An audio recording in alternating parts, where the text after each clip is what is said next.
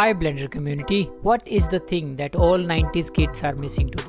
Well, the 90s school days, isn't it? I really want to relive my childhood school memories once again and experience my old school time classroom again. And yes, I did this. This is my 90s childhood school. It took me a month of hard work to create this in a free 3D software called Blender. I really wanted to do this for years. And in the next few minutes, I'm going to show you how to remake your own classroom just from your memories. I know, I know, very nostalgic and after that we can enjoy any dream place in 3D virtual reality using Google Cardboard as if you were standing there.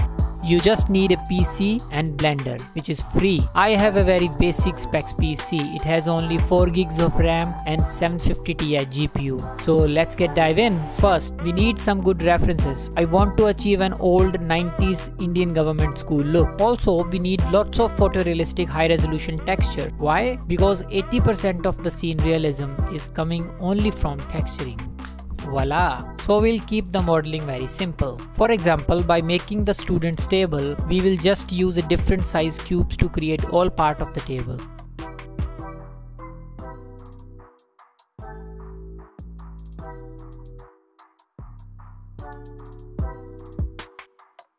we will make only one table and create a copy of it. Make some adjustment to this copy to make one more variation of another table. This way we can create 4 to 5 variation of tables that don't look same or repetitive. The entire classroom is nothing is just a simple box. After deleting the top, we need to create some edge loops on walls for pillars, doors and windows with your extra extra creativity. Just copy the reference. Now I really want to make that old Indian style almirah that every government school class had, but I did not get good references for it. Then I went to an antique furniture selling website where we can find good high resolution photograph of old almirah.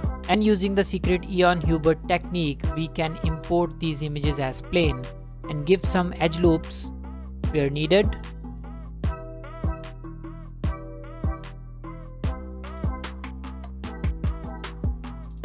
Wait, wait, if you want to move the vertex, it will distort the texture.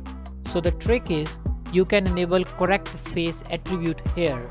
Then you can freely move vertices without moving the texture with it.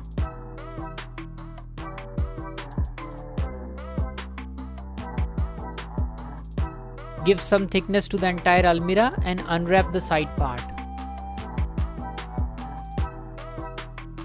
And that's it. Alright, doors and window. I searched so many texture but our Indian doors and windows looks bit different. I finally got a nice looking texture but the window and door have a different color. So here is another great trick. I'm using Photoshop match photo feature to match exactly the color and the hue of window to the door. And look at the magic. Now both look like it's belong to the same room.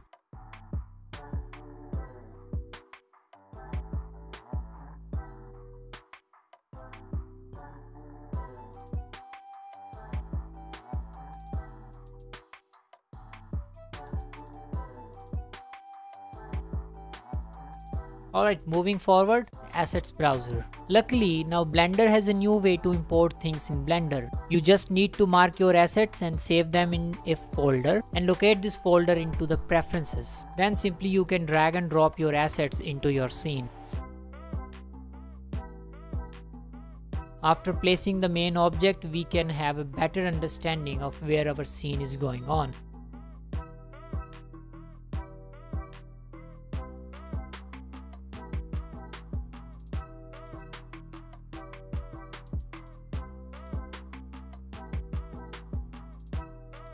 For texturing these all 20 tables, I want every table should have a bit different and a unique texture, which is difficult to do one by one, but we can accomplish this with one cool trick. We can create a wide texture by placing 4 to 5 wood textures side by side in Photoshop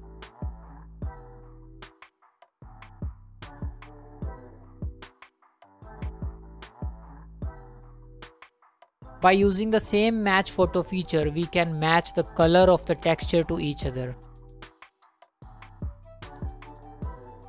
Apply this texture to all tables. Just simply unwrap tables roughly with the Smart UV project.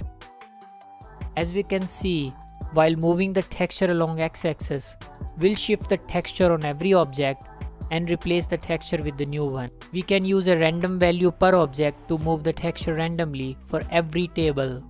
We can also multiply this random value to shift this even more. Now look at this, the texture is randomly shifted on every table. So this way, every table has a different texture to each other. Pretty cool.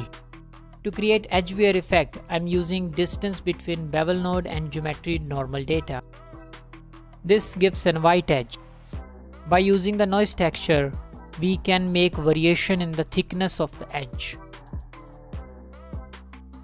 So after all this effort, every table looks a bit different and naturally used and aged.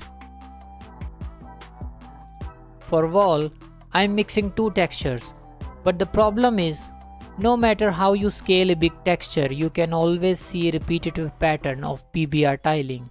To avoid this, I'm using a free basher node by Erindale. Link is in the description. It will tile your texture randomly without repetitive tiling. And finally we can use a noise pattern to mix two different texture. We usually see a different color on the bottom side of the walls in classrooms.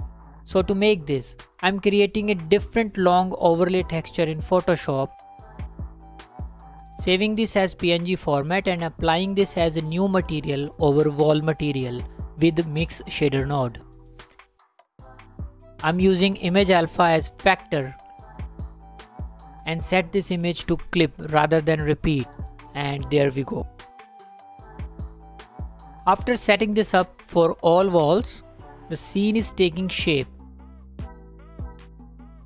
and started to look like my old school and we can see the cycle GPU rendering it taking 3 gigs of RAM out of 4 gig. So it's time to quickly fill the scene with small things like these posters and drawings. I have downloaded some papers and drawings and imported them all at once in Blender with some offset to each other. Then marked them as assets we can simply drag and drop them into my scene to arrange however we want.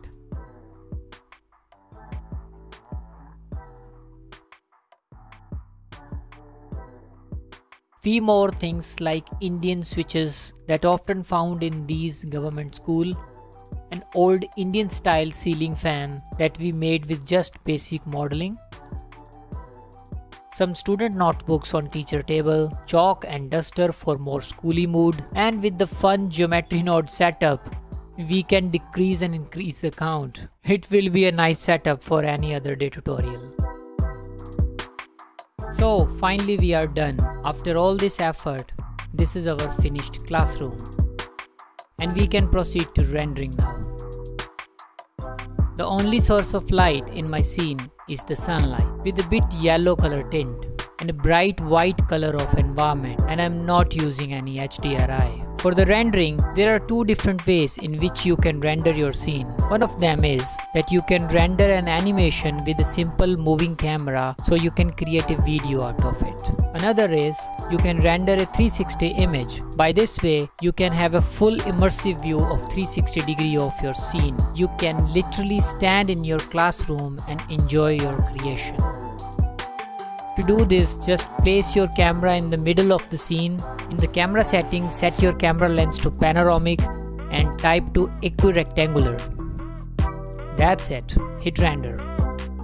The entire making process that I have shown you was not a step-by-step -step tutorial. Rather it was a workflow guide or just an inspiration for any other beginner artist. And that's all in this video. We'll meet again. Bye bye.